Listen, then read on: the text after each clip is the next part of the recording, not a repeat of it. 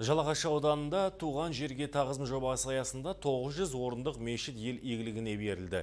Имандылық үйінің ашылу салтанатына Қазақстан мұсылмандар діни басқармасының төрағасы бас мүфти Наурызбай Қажы Тағанұлы қатысты. Сондай-ақ аудан кәсіпкерлерінің демеушілігімен көп балалы үш отбасы баспаналы болды. Жаңадан бой көтерген құлшылық ордасында жамағатқа толықтай жағдай жасалған ерлер және әйелдер залы мен имам бөлмесі 350 орындық асханасы бар.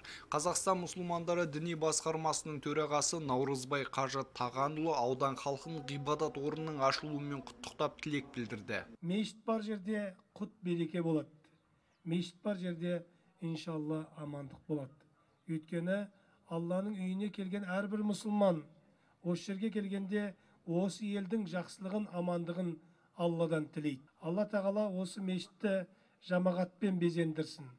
Мешіттің жамағатын алла ауызбіршілік ынтымақ нәсіп етсін.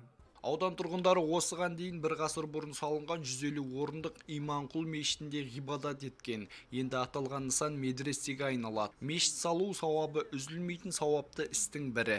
Нысанды салуға Жалағаш ауданының құрметті азаматы кәсіпкер Ерлан Сағымбаев қолдау жасаған. былтыр деген соған пандемияның байланысты тоқтаттық соны биыл міне бітіріп екі жылда алланың қалауымен бітірдік Сондай-ақ көшпелі керуен қайырымдылық шарасы ұйымдастырылды. Аудан кәсіпкерлері 100 отбасыға азық түлік пен қаржылай қолдау көрсетіп, көп балалы үш жанұяға баспана сыйлады. бес жылдың көлемінде осы пәтер жалдап тұрдым. Барлық жерде балаларымның мектебінің айналасынан әйтеуір. Қазір аллаға мыңда бір шүкір алдық үйді. Аудандық кәсіпкерлердің деме- демеушілігімен пәтер алып жатырмын. Тек көп көп рахмет. Рамазан айы қарсаңында басталған игілікті шаралар легі алдағы уақытта да жалғасын таппақ. Қозгөрпеш Жасыралу, Алмат Меңдібаев, Төрехан Қожахметов, Қызылорда телеарнасы Жалағаш ауданынан.